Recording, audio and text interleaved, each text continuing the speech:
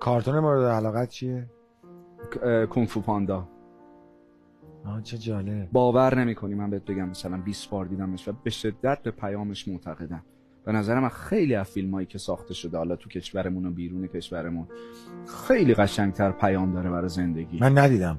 ببین قصه. یه پاندا طبیعتا توپله و تنبله و مثلا هیچ گزینه مناسبی برای یادگیری کنگفو نیست. عشقش هم کنگفوه ولی از مس... یعنی پذیرفته به لحظه می‌تونه این کار رو انجام بده که پذیرفته قابلیتاشو. شکمو بوده مثل خودم. مربیه مثلا کیک میذاشته اون بالا اون بالا بعد این می‌رفته بر میداشته و اینا. ببین خیلی خوبه بپذیریم که آقا ویژگی های من اینه. من من اینم. یه سری چیزایی که ببین من خیلی قبول دارم خواستن توانستن است و اینا.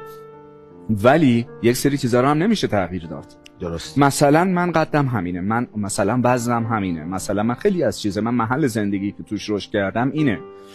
ولی خب حالا از با از مسیر داشته هم برسم به چیزی که می‌خوام. من خیلی دوست دارم اینو و واقعا پیشنهاد می‌کنم ببینیم. به نظرم بی‌نظیره حتما می‌بینم. آره.